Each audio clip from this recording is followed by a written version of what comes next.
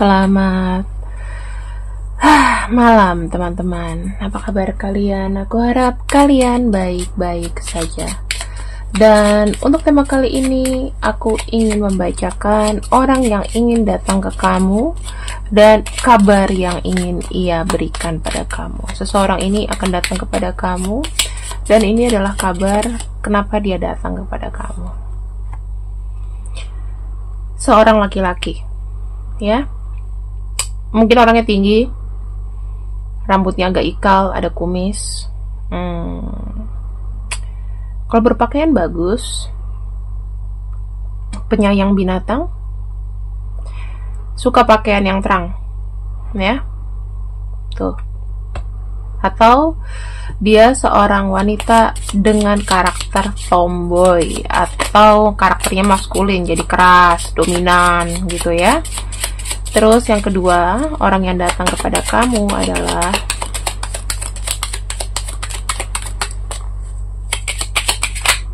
Hmm, aduh banyak banget. Bentar ya. Oke. Okay.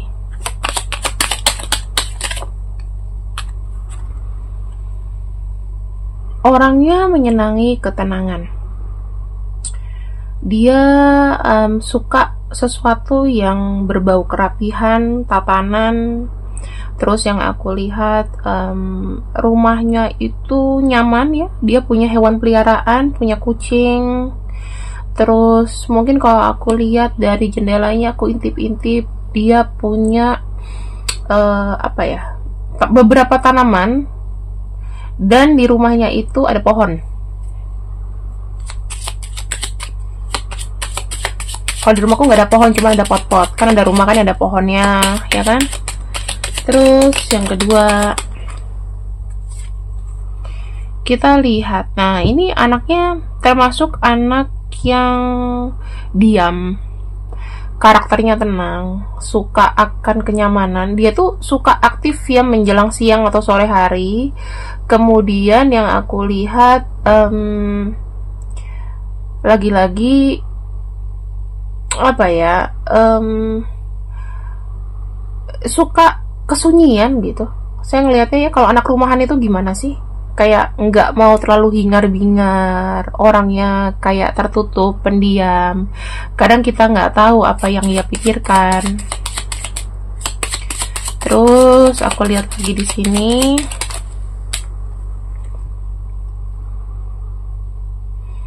Dia um, gini mungkin dia memiliki anak. Atau bisa dibilang sekarang ini lagi coba untuk starting new life. Ya starting new life atau memang dia memiliki anak. Ya bisa jadi ya duda atau janda. Oh ya mungkin dia punya hobi yang suka ngumpulin sesuatu ya mainan hobinya toys gitu ya lego lego atau hobinya di sini eh, mainan-mainan masa kecil mungkin suka main PS ya kan uh, game atau apa seperti itu. Kemudian yang saya lihat di sini dia pernah terlibat dalam hmm, perbuatan hukum saya nggak tahu apakah perceraian kalau misalnya dia punya anak kan itu kan sama-sama di pengadilan ya. Pengadilan agama pokoknya pengadilan pengadilan pengadilan lah. Terus pengadilan negeri mungkin ya. Tapi belum tentu kasus korupsi loh teman-teman. Jangan berpikir seperti itu. Nah energinya ke kamu tuh gimana? Energinya ke kamu seperti apa? Dua sebenarnya energinya ketemu kamu itu bagaikan bertemu seseorang uh, kayak ini.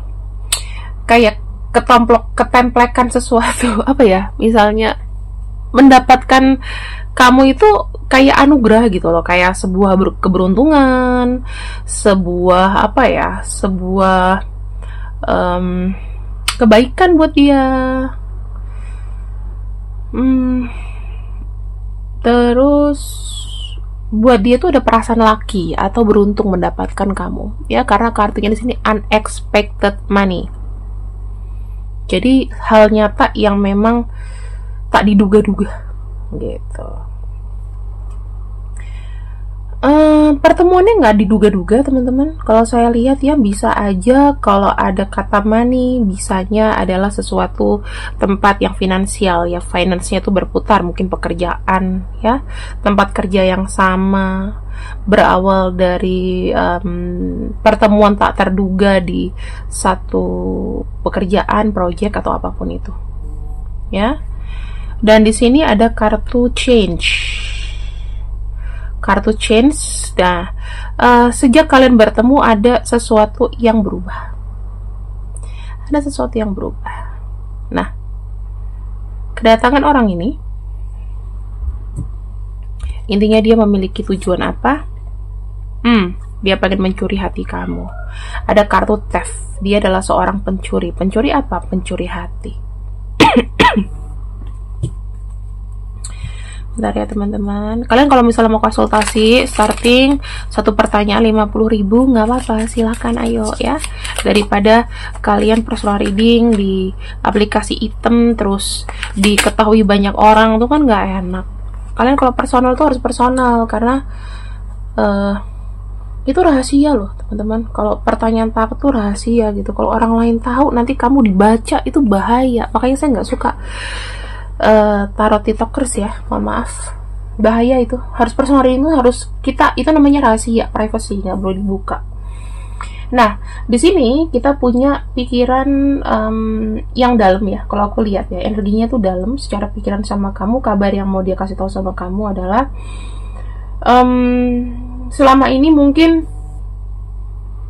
dia belum punya kesempatan untuk mengenal kamu lebih jauh secara emosi tetapi um, kalau aku lihat dia pengen mengambil kesempatan itu. Ada sebuah kekecewaan. Mungkin ya mungkin kalau kamu dulu pernah deket sama dia terus tiba-tiba nggak jadi tiba-tiba orangnya berubah ternyata dia jadi berubah atau tiba-tiba kalian deket tiba-tiba jauh tanpa sebab dia sangat menyesali. Ya dia sangat menyesali kondisi tersebut.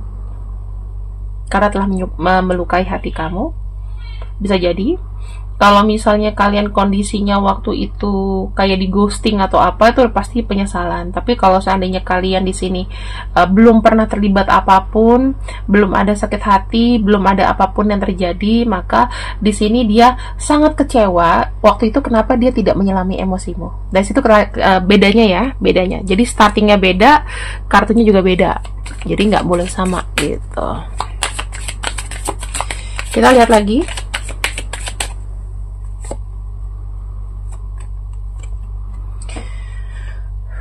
kita punya kartu Eight of Cups.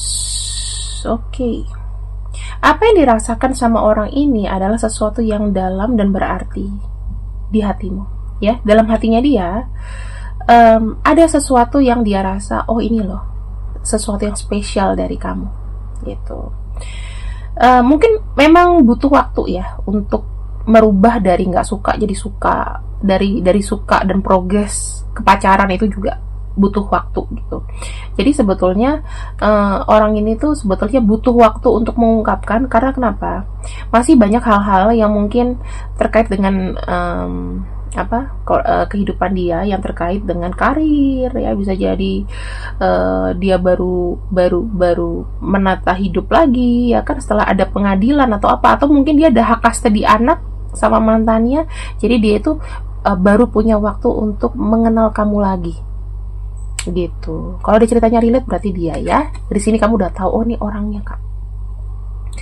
Nah uh, tujuan dia mengenal kamu lebih dalam adalah untuk mendapatkan sebuah kebahagiaan utuh dalam arti uh, dia tuh selalu kayak punya keinginan bahwa hmm, aku pengen mendapatkan seseorang yang benar-benar real benar-benar bisa membuat aku bahagia dan ingin ada pergerakan maju ke depan. Seperti itu.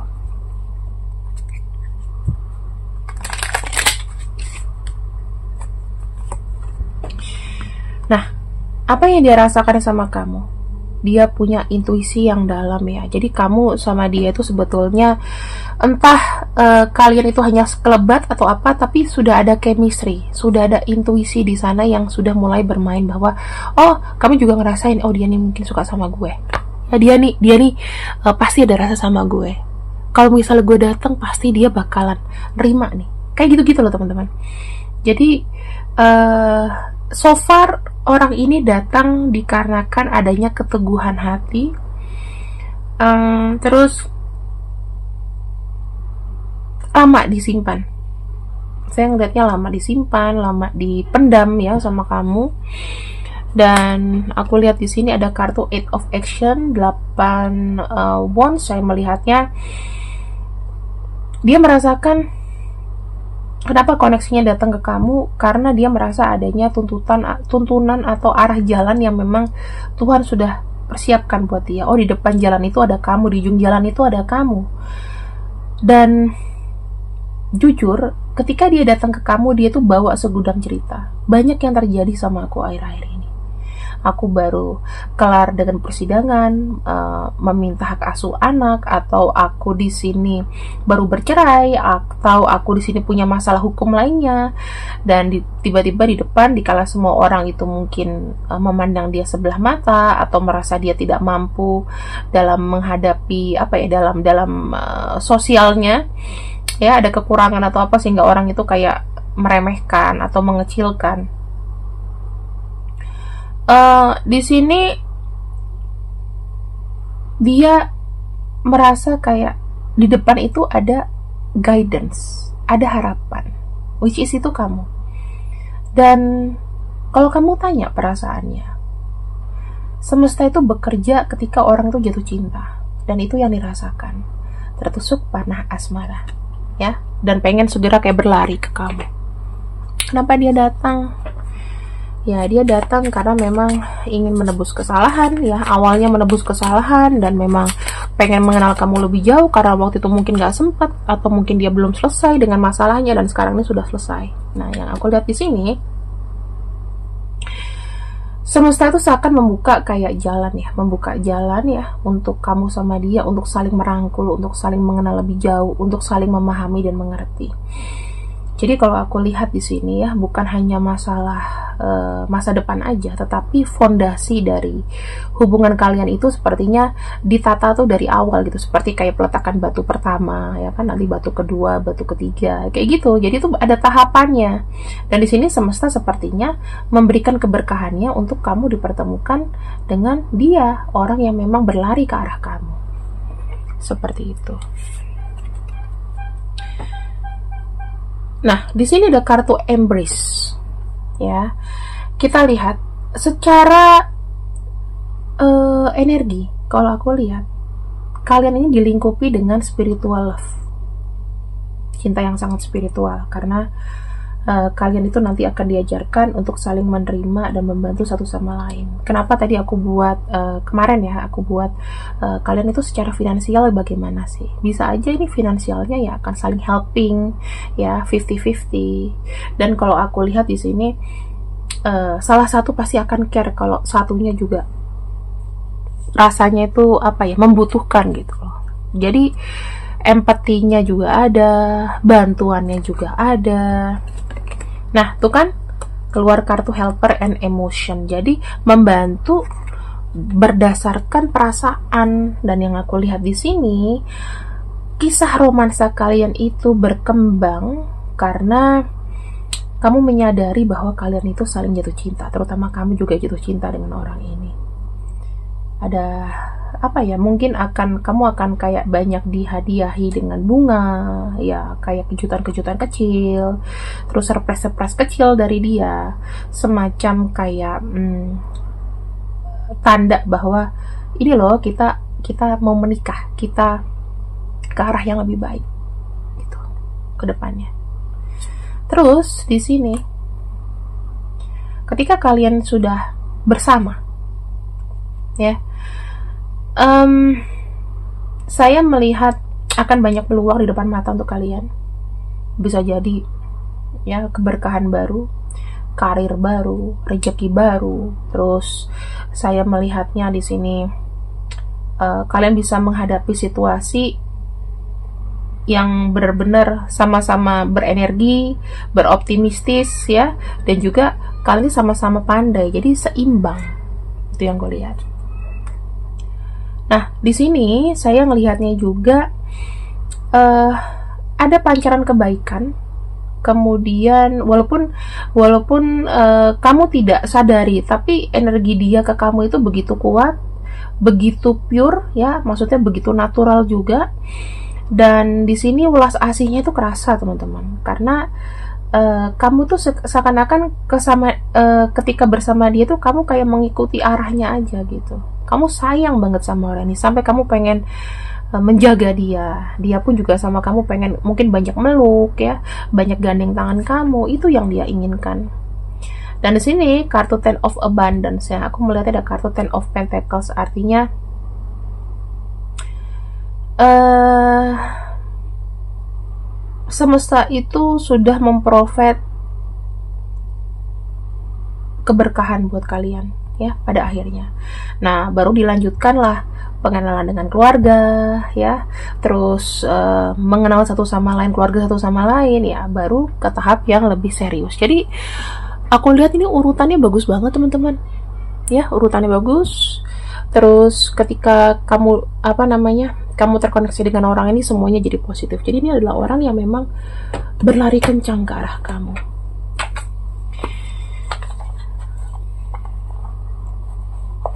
nggak mudah loh untuk menjadi pembaca tarot ya. Kalau mau asal-asalan mah gampang nyenang-nyenangin orang gampang. Tapi ketika orang tahu kenyataannya kabur dari kita gitu. Aku sih so far kalau misalnya ada yang datang dan memang cocok dengan menerima yang penting gini kalau kita dibaca orang itu dibacain tarot itu intinya menerima. Jangan kalau hasilnya di aku jelek nanti ke tempat lain hasilnya jelek juga ya kan malu gitu loh. Ya kan jadi kalau membaca tarot itu menurut aku tekniknya itu harus personal reading dan harus sama-sama tahu. Ini bukan masalah pembenaran tapi lebih kena sehat, lebih kepada mem, mem, apa memberikan pilihan ke kamu gitu loh. Jadi bukan aku meramal nanti nasib kamu besok kamu nikah, besok kamu meninggoy, besok kamu melahirkan nggak kayak gitu ya. Mungkin kalau misal di zaman-zaman abad 18 mungkin buat hiburan bisa kayak gitu. Pakai tapi pakai gypsy ya, gypsy card Nah, di sini yang saya lihat adalah um, apa yang ada, apa yang terbuka energinya. Dari kartu-kartu ini, saya melihat ada regret.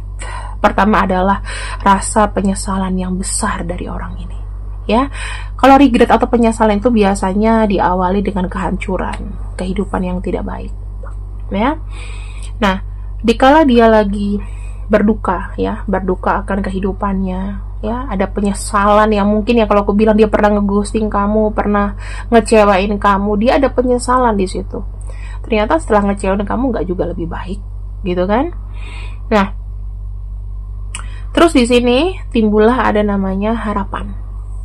Oh iya aku berharap nih supaya uh, ke depannya kita bisa aku aku bisa ketemu sama orang yang tepat. Siapakah orang yang tepat itu? Dibukakanlah pintu. Oh ini loh clue-nya kata semesta. Oh di depan di ujung jalan sana ada cewek yang nunggu kamu ada cowok yang nunggu kamu. Itulah orangnya misalnya gitu ya. Dia dapat clue atau intuisi seperti itu. Akhirnya setelah dia terbuka ya teman-teman otomatis yang menjadi patah hatinya dia itu menjadi obat patah hati menjadi obat. Kenapa? Karena ada gairah. Di mana ketika sudah ada gairah, maka adanya ketergantungan yang kuat, kemelekatan satu sama lain. Dan ini adalah perang buat kalian. Kenapa? Semakin kita melekat sama seseorang tuh semakin kita nggak sehat. Makanya kalau kamu tahu, kalau kamu mungkin ajarannya Buddha ya, um, itu hal yang harus diperangi pertama adalah kemelekatan. Tapi kita manusia kita nggak bisa nggak melekat dengan seseorang. Kayak aku melekat sama iPhoneku. Oh nanti ada iPhone 16 aku mau beli lah aku melekat dengan iPhone. Aku melekat sama brand iPhone. Aku nggak mau pakai brand Samsung misalnya gitu. Tapi itu kan namanya duniawi banget ya. Sama ketika kamu mau sama dia. Aku mau sama dia aku mau sama dia sampai mati. Padahal kamu tahu misalnya orang itu red flag atau orang itu black flag sekalipun. Aku aku punya klien yang punya istilah black flag. Kalau kamu nonton di sini halo ya. Nah uh, semakin kita tahu kemelekatan itu bisa memudarkan logik kita gitu loh. Jadi bener lah kata semesta kata Tuhan itu nggak boleh sesuatu tuh yang berlebihan nggak boleh sesuatu yang terlalu melekat atau bagaimana. Karena nanti akan dirasakan sakit sendiri ketika kita terlalu melekat rasanya itu kok kita bisa dihancurkan dengan kemelekatan itu. Itu sih yang aku mau bilang sama kalian. Jadi sebetulnya fine fine aja tapi kemelekatan itu bagus tapi bisa juga harus diseimbangkan. Jadi sebetulnya ini adalah kabar-kabar yang mungkin kau akan dengar ya. Ada orang yang berada kencang dan ini adalah kabar yang kau akan dengar. Kita akan lihat di sini zodiak zodiak dia. Zodiak zodiak dia. Kita punya Aquarius. Cancer. Skor eh ini apa ya? Aku lupa lagi nih. Virgo.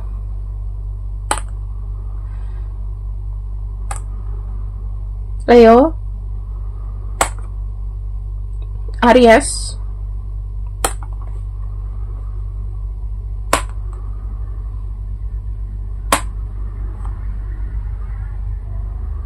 Hmm. Ada Libra. Satu lagi. Wah, aku harus kenceng banget ya.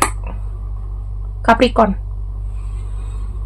Aku sumpah teman-teman, aku semenjak sakit aku agak agak apa ya? Agak lupa dengan zodiak zodiak serius. Ya, itu mungkin uh, Sun Moon Rising. Kalau zodiak yang enggak berarti Sun Moon Rising. Kalau misalnya Taurus, Moonnya Gemini mungkin aja, ya. Atau risingnya Capricorn atau risingnya Cancer, maybe.